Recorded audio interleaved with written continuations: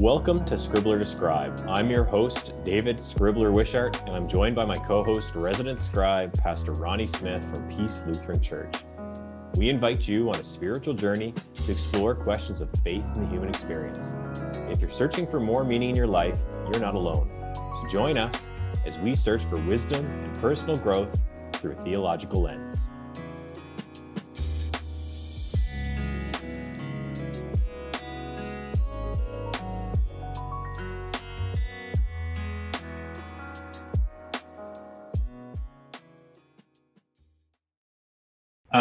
Yeah, so last week we were going to dig into this and we kind of went in a different direction.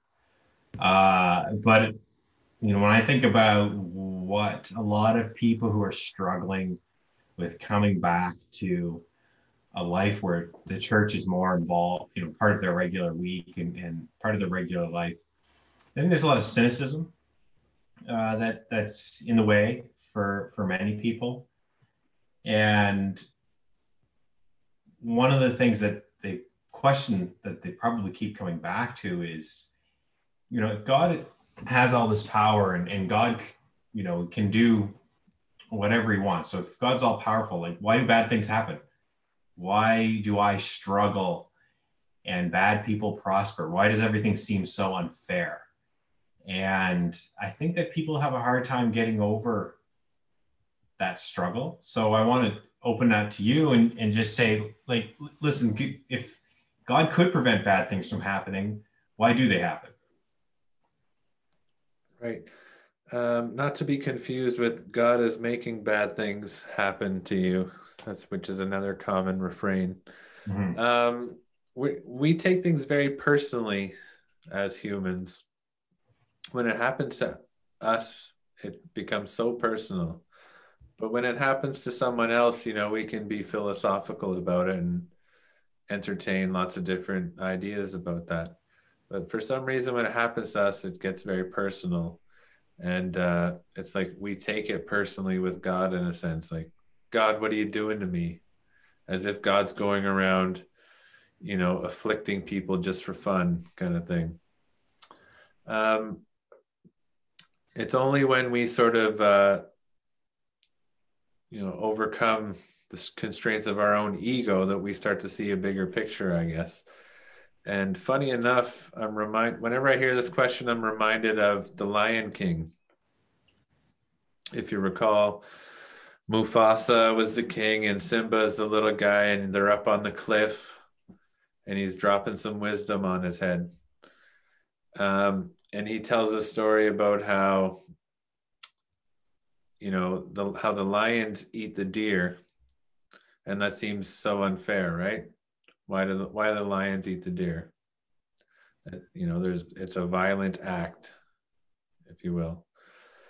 And but then mufasa explains how that when the lion dies becomes part of the soil and you know nourishes the ground that grows the grass that the deer eats and so, in a sense, they're both eating each other. It's the cycle of life kind of thing. But if you're a deer, that sure does fall on deaf ears.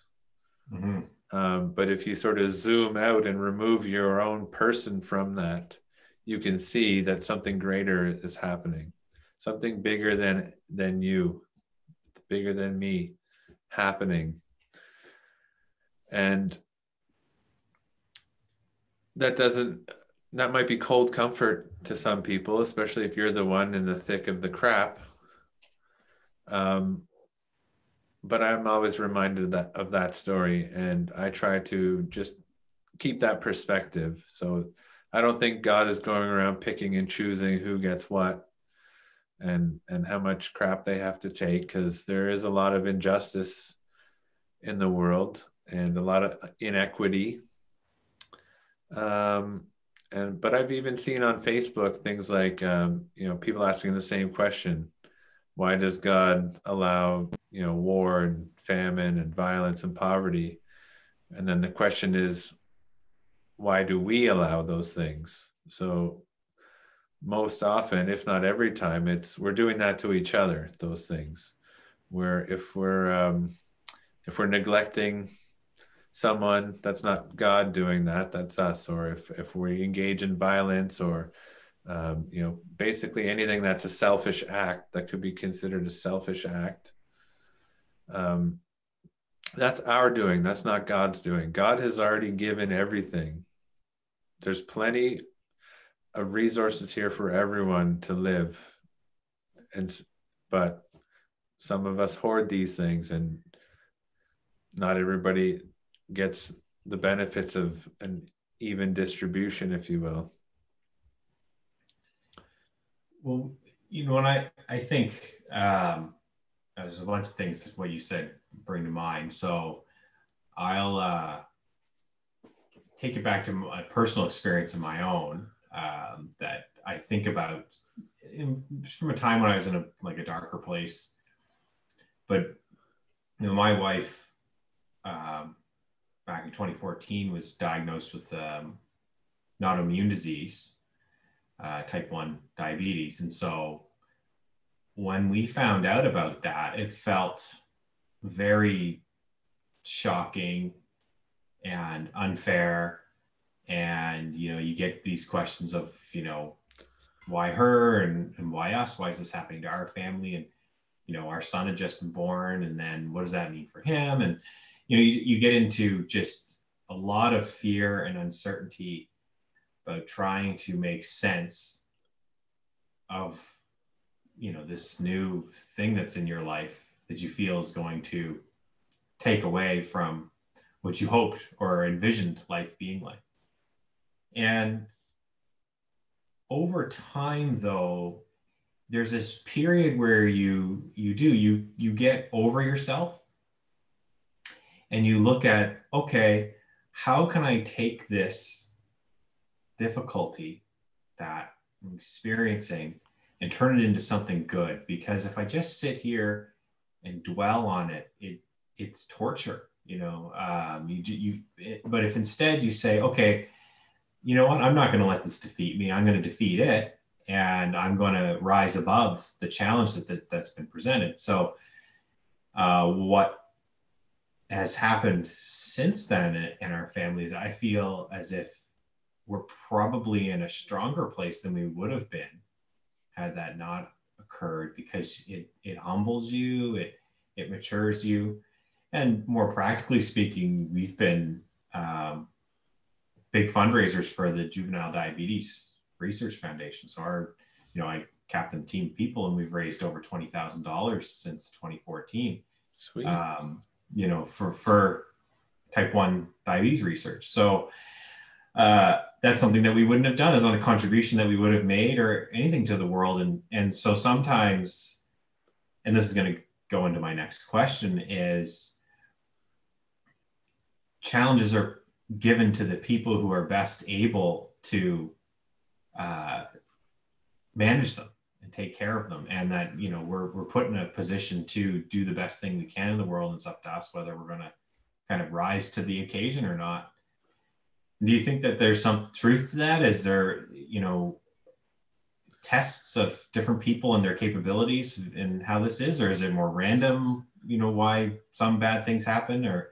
Um, uh, you hear that a lot and another way for people to say that is god doesn't give us more than we can handle and and there are a lot of axioms like that out there um, but that would then suggest that god is intentionally afflicting you with something just to test you a lot like in the book of job i guess mm-hmm. um, and there's a lot of great wisdom and and teaching in that book but on the other hand it's not the God that I believe in, God that's going around willy nilly picking on people. That's not a God that I follow. It's not a God I feel like that I know I have a close relationship with. Um, so, and I, I don't mean to judge anybody who uses that as a mantra. I mean, you know, whatever works for you to get through the crap. Um, but um, you know, think how many billions of people have ever lived. And if you take any organism and reproduce it that many times, you're going to get variances. And sometimes, you know, things just misfire, they don't work properly, or could be environmental factors maybe your mom smoked or maybe you're or or something or maybe you were abused as a child or were neglected and didn't get enough nutrition and later on you develop something or uh, maybe there's something in our deodorant like or all the processed stuff in our foods we've really been poisoning ourselves ever since the industrial revolution essentially like land water air it's it's all pervasive. And when you introduce all those toxins into you know the birthing process you're going to get defects and people are going to have shortcomings here and there. And there's probably a certain element of that naturally anyways uh, but we've certainly not made it any easier on ourselves. Um, so again i would i would say why do we allow all of those things? And then when things don't work out we're quick to point the finger at god. Oh it must have been god's fault. Um, but then it's that personal thing again right? Like um, if all you if your whole life is dedicated to being all about yourself you're going to see that wherever you turn but if you're able to transcend yourself in a sense uh, and you know what would be a way to say it rather than uh, appealing to your, your your basis of instincts appeal to your higher um, being i guess or connect your, the the divineness that's in all of us the spirit um, you start to see that um, taking those things personally is not going to get you very far. Um, so much of humans, I'd say there's far more suffering uh, across humanity at, at, the hands of other humans uh, that we need to deal with before we start pinning it on God. But a lot of people don't want to do that work, right? That's grueling, lifelong uh, discernment and evolution and struggle and challenge.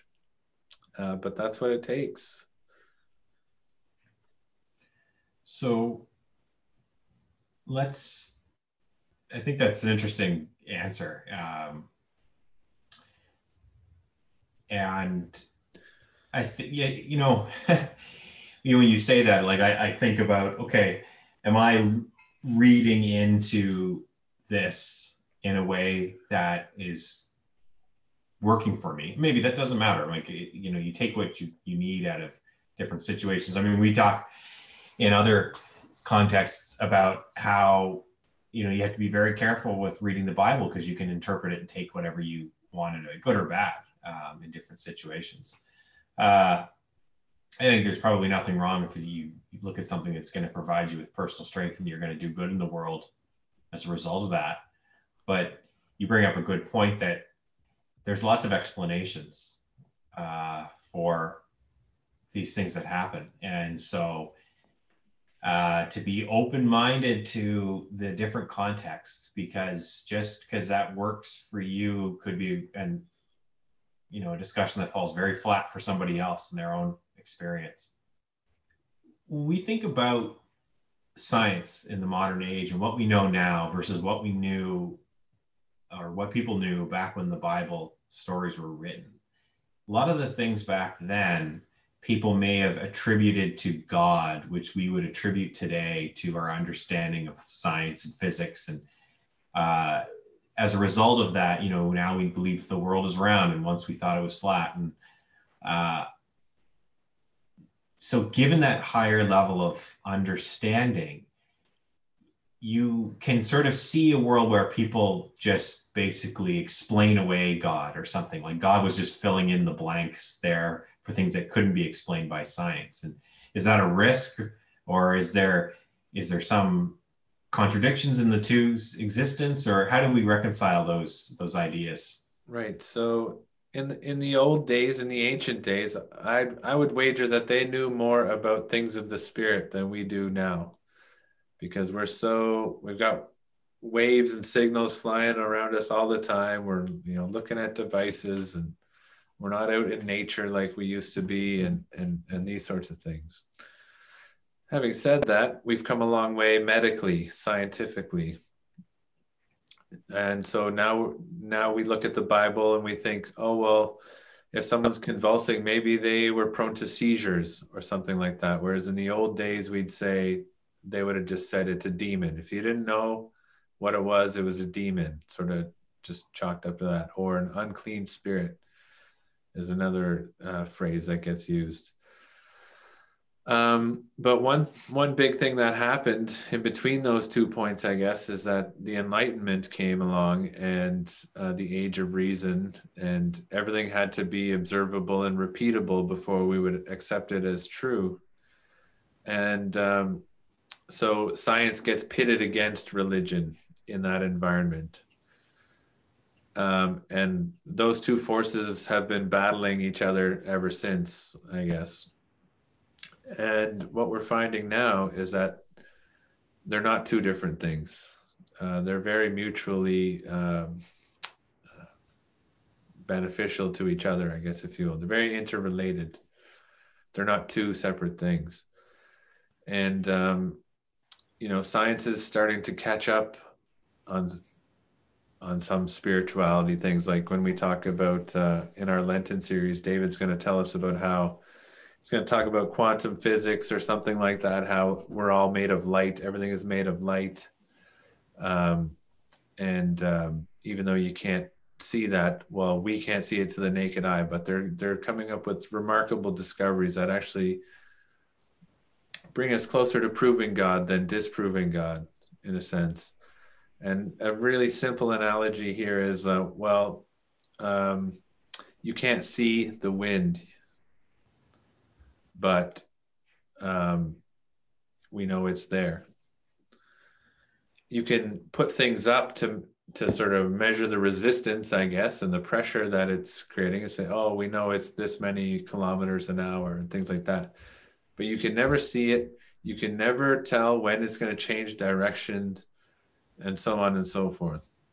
Um, so there's an invisible thing that we can't prove well, I guess we can prove by putting things in the way, I guess, but that's not really a complete answer. Uh, but there's something there that uh, we can't see, but we know it's a thing. So similarly, uh, the the Holy Spirit is like the breath of God, uh, breathing, flowing, whatever word you want to say, through all creation, everything that is, um, whether that's in light form or actual movement of air molecules. I'm not really sure. That's not my forte, but David can explain this stuff in much better uh, fashion. So do check into that. Really hope you can make that. Uh, but anyway, so he's a spiritual scientist essentially, and and what they're finding is that a lot of the ancient wisdom is is a lot more accurate than we we might have thought. And you know, especially in the age of this age of science and medical innovations and things like that. It's really tempting for us um, to think we're so great and we got it all figured out and we know everything. Um, but we all, everyone can admit that there's more out there than any one of us can perceive.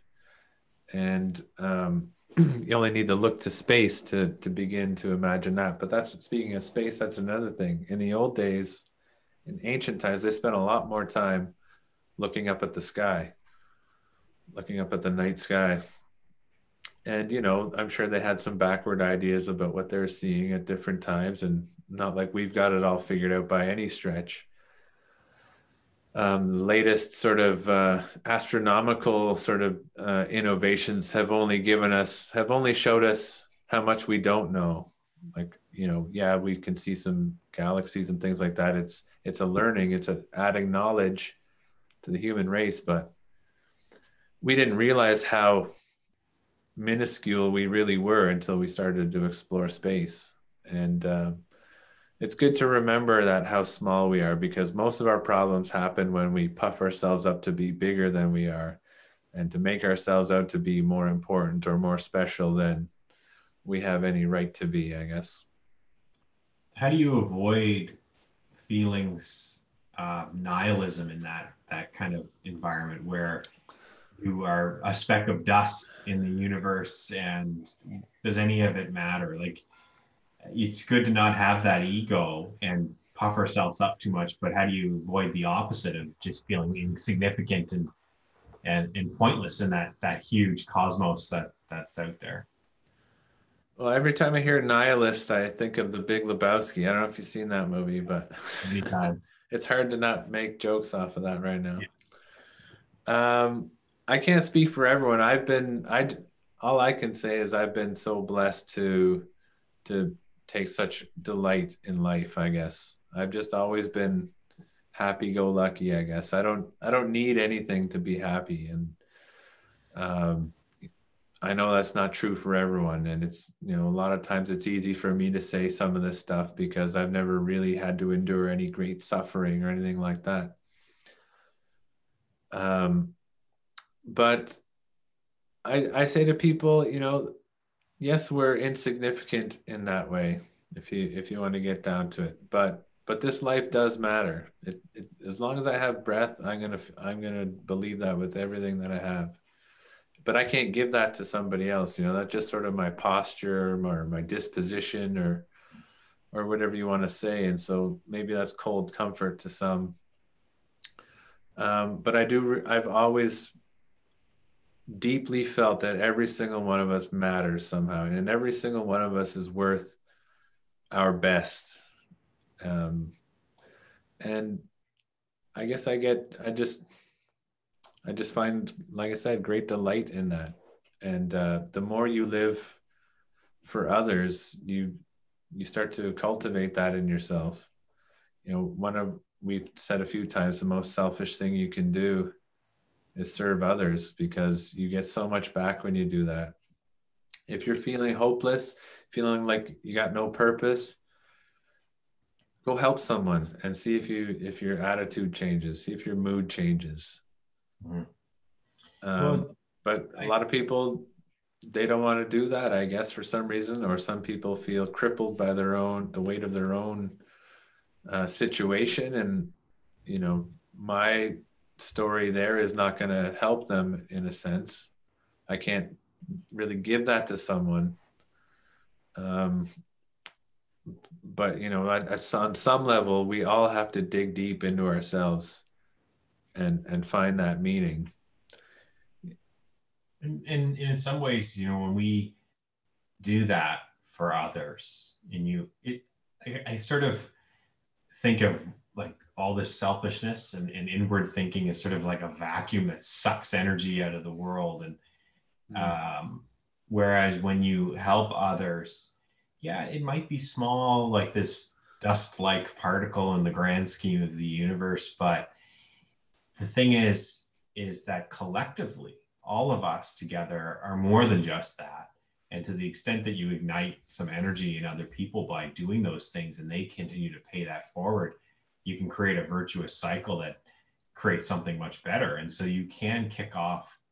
Um, you can either choose to to kick off the positive cycle or or you know retract into a negative one it's up to each of one of us the day what universe we want to create so i read like a, uh, an interesting um, book that that talked about um, oh, what was it called dark matter By an author blake crouch. It's a good sci-fi novel. But he you know he talks about um, you know multiple dimensions and sort of you know about it's kind of about like time travel but also just about how life forks off into all these different paths. And so you know it's like an infinite corridor of doors that you can go through and each one represents some split in the decision tree of life where you could go. And it's like yeah i mean your actions can create all these universes and every one of us is all in that same thing of what we, what tomorrows we can we can create for each other. And so there's one out there somewhere that is the collection of everybody doing the kind thing serving others that is some utopian environment compared to the one where we're all you know living for ourselves. And, and you can just see how all those things can go go wrong and um, you know what kind of negative or positive energy is really coursing through each one of those. Yeah, absolutely. We we each get that choice every single day how to respond to what's put in front of us. Uh, but back to your question about you know why does it matter? Why do I matter? And if we're just specks of dust. Um, I'm reminded of another cartoon. I forget where it was from, but uh, there was like uh, I think a man and a boy walking along the beach, and um, the kid threw. Oh, so so the beach is littered with like starfish and things like that, and the the boy threw a starfish back in the ocean, and the adult's like, "Well, why'd you do that for? There's so many of them here. Like, it doesn't matter." And the boy's like, "Well, it mattered to that one that that he did that." And so, you know, they both looked at that same situation in two totally different ways. What I'll do is one of the questions that he's asked me is I can put this on you for all the kids out there who are obviously listening to our podcast. Naturally. adults. But uh, no, seriously though, uh, one of the things he asks is who created God? And so this idea of like, did it start somewhere? And I feel like I don't have a good answer for him other than I think that that's a construct of us trying to force time on God. But I want to hear what your thoughts are about about about that. Like that's an excellent question uh, with no real answer, I guess. And so I take delight in such questions because I just like to bask in that not knowing. Mm-hmm. Um, I don't know how to translate that for people or, or to make it accessible, but it's just something I've just come to appreciate in life. We talked a little bit uh, last time about control and sort of hinting at, you know, get used to not being in control and see how your life opens up, or something like that. Uh, but I am reminded of another sort of uh, anecdote. I, I was on internship in uh, St. Matthew's in Kitchener. Um, Pastor David Molina was my internship supervisor, and another gentleman, Jeff Snyder, was in there and they were debating on um, i think the question was something like can god make an object so heavy that even god couldn't lift it up and uh, one of them i think was saying arguing yeah and the other one was arguing no something like that. And i was just listening and then they asked me and then i said very cleverly i said do not test the lord your god. Yeah. And so um, which i think is the sort of uh, dwelling in the not knowing taking delight excuse me in not knowing it circles back to something we were talking about earlier because you talk about back in the time you know when jesus was walking the earth and, and the, the you know the original bible scripture was being being written there was probably a greater comfort in not knowing and giving it up to God and just allowing these things to be unexplained. Right. And as you move into that period of the Enlightenment and everything needs to be observed and tested, and uh, you need data and uh, and we're so skeptical uh, now. Yeah, it, it, it forces everything to have an answer. And I will say, from my own personal experience, in control and anxiety, one of the big sources of that is trying to solve all the problems and being able and available to solve the problems that come your way. But there's a fallacy in that because it's impossible to solve everything. Um, some problems cannot be solved, others are not worth solving for you in that moment in time. Um, whatever the case may be, uh, ha- having that acceptance and being willing to just say, you know what, maybe this doesn't have an answer and it doesn't need one. And moving along in your life, you, you don't torture yourself with trying to make all that fit together. Right. So, well, there you go. Yeah. Solving all words. I don't even have to say anything to that. yeah, exactly. Yeah. Why are you even here? Um, I have another question. I think it sort of fits into maybe a different podcast than this one. Yeah, but, and you, and you got to think two minutes left on your uh, five minute check in. I do, yeah. So you might not be able to answer this one in time, but it's something that I'm going to forget about if I don't ask it now. All right, go for it. So, talking about science, let's say hypothetically speaking, we invent some kind of gene therapy or medicine or something that allows us to effectively live forever. So humans um, no longer, uh, the physical body doesn't die. And so we, you know, of course, under the belief that, you know, when you die, your spirit goes to heaven. But what happens in that, that environment where maybe we, we've changed those rules and now we're living in this other um, uh, you know, structure of life. Uh, does that what does that mean? Can we still find heaven on earth, or does it? Are we are we in competition with God by doing something like that? What does that What does that look like? I'm not necessarily expecting you to have an answer for this. I just want to put it out there as a. It's a slip. It's a slippery slope, that's for sure. And funny enough, I'm reminded of some Rush lyrics of the song Xanadu. I don't know if you know that one, but it's about Kubla Khan search for immortality, and in the end, um, realizes that it's a curse, mm-hmm. and that it's a good thing that we all pass from this realm.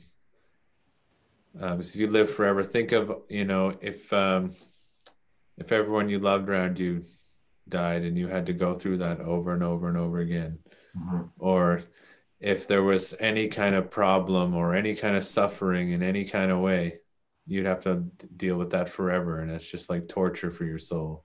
Mm-hmm. So I don't know, maybe your soul might be like, peace, I'm out of here someday. Had enough of this torture. I don't know. But of course, this is all hypothetical. And I'm not afraid to go there. It's fun to entertain such uh, wild notions, I guess. Um, but it's not anything I'm in pursuit of. I think this life is good enough for me. You know, someone's, you know, everyone's heard the saying, "You only live once," and I I refute that saying. I get to live 365 times a year mm-hmm. until the last. So every day is a new life. Every every breath is a prayer. And uh, you know, I just see God everywhere. And uh, when it's my time, I guess I've had, you know, I don't want to get too sci-fi here, but I've had a vision, I guess, of of have what people call heaven, I guess, where your spirit goes when you die. And uh, the the message I received in that vision was that don't worry, when you die, you're gonna come here with the other spirits, I guess. And uh, so I've just got this incredible peace it's it's it was such a blessing. I had that vision like 20 years ago, and it still is fresh, as if it was yesterday. Mm-hmm. Um, so I've been able to. It's allowed me to sort of live with courage, I guess, in a sense, and um, what a gift, you know, like being touched by the hand of God. I guess. I mean, we all are, but who can perceive it? Well, and that's the the the quest for like physical immortality on earth maybe just fear of the the future and the unknown and that when you don't have that fear you don't have that want to to live forever. And there's something just maybe perhaps egotistical about that. It's an idea that i've wanted to develop into a, a story about it. You know a husband and wife and the husband wants to go through with this treatment to you know live forever and the wife is not keen at all on it. And it becomes this this complete um, debate in their marriage that kind of destroys what they have. Well there you go. That's the first problem right there right? Talk about a slippery slope yeah. and uh, being a curse. Mm-hmm. um, i'd love to explore that with you just to get wild and crazy. That'd be fun. Yeah. I think these kind of ideas are are really interesting to explore because just challenge our way of thinking and you can kind of peel back the layers of the onion and that's all. Yeah, absolutely. And the other thing there too is I'm not worth keeping alive forever. Like who am I that should that should happen to? you're the scribe, man. You're Ronnie Smith. seriously though, it's been a great chat, and I think we covered lots of good ground in the time we had.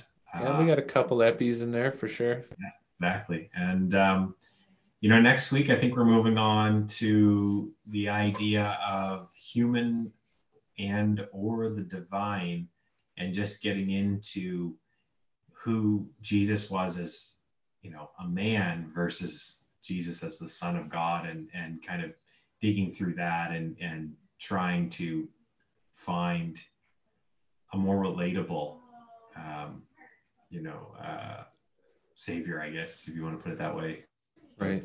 But i think we can dig into that. That'll be uh, an interesting discussion. I think we can find ways for people to connect in the 21st century better. Let's hope. That's the that's that's what we're aiming for. Yeah that'd be great. Okay. Thanks so well, much david. yeah, thanks again. We hope you found your time nourishing and life giving. Don't forget to like and subscribe to our channel. If you would like to hear more and support the podcast and Peace Lutheran Church, please consider donating at the link in the description. For DW, I'm Pastor Ronnie Smith. Peace be with you.